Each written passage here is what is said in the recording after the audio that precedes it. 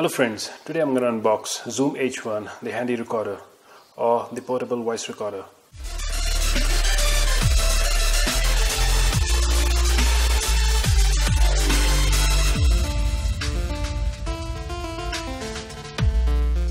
So first let's look at the box, what's written on the box. This is version 2.0 and it works as USB mic.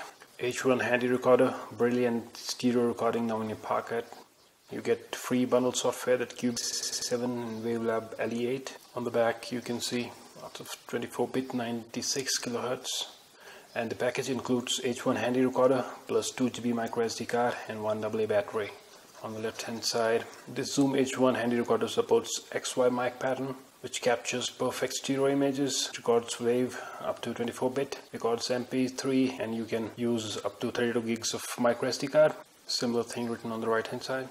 On the top you can see it has 2 GB micro SD card included and on the bottom is serial number, nothing else. So let's open the box and see what's inside.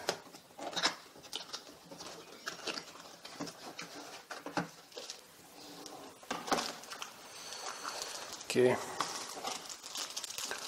let's keep the zoom h1 aside and, and we'll come back to it first let's see what's in this bag this is a 2 GB microSD card with a microSD card adapter. This is some literature. This is literature. Okay lots of literature. Quick start guide. If you have time then go through it. And a warranty register card now let's come back to the zoom h1 recorder here's the zoom h1 recorder and the battery okay this is zoom h1 let's open it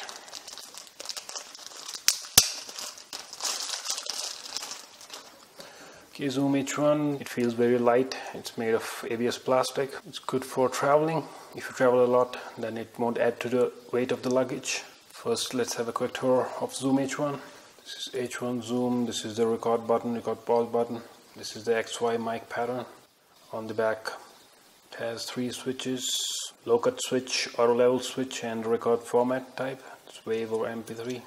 On the left hand side, it has volume button and the line out jack and on the left hand side is micro USB port holding power port this is the delete button this is the reverse pause play button forward button input level and the line in it also has a quarter inch screw hole for mounting on a tripod or a boom pole. So let's insert the battery and boot it for the first time.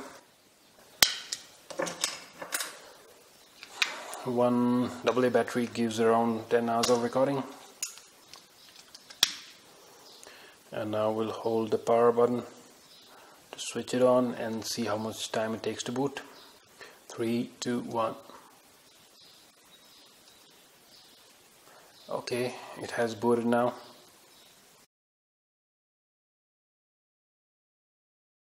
oops we forgot to insert the card this is a 2 gig micro SD card here is a micro SD card port Now let's see what's on the screen. It shows the record time for 3 hours, 5 minutes and 43 seconds. It's recording in WAV format. So let's record it. In 3, 2, 1. Now as you see it has an LED. This denotes that the device is recording. First let me put on my headphones. Use headphone line out so that we can hear. We will increase the input level